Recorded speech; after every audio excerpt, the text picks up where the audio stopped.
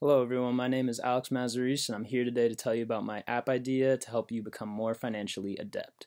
So since the beginning of COVID, there's been a lot of new investors on the market. Even brokerages like Robinhood saw about 3 million new users since COVID started.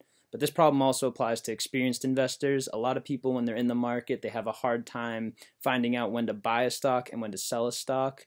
And they'll talk about missing opportunities on the market. So, my app's goal is to eliminate this problem by giving you an alert system to tell you when to get in the stock and when to sell it for your profit.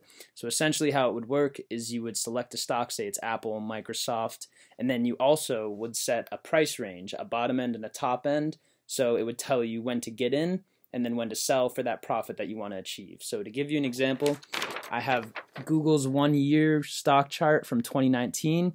Red means without my app, green means with my app.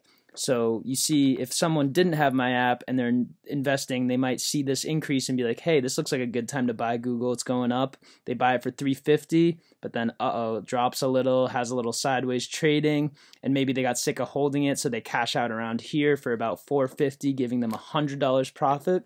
But if they had my app, they could say, "Hey, I want to get Google when it's at 150, and I want to get out when it's at 550."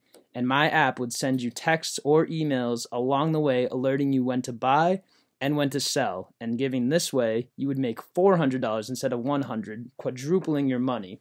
So StockAlerts' main goal is to help you with making buying and selling stocks and getting yourself some extra money that much easier.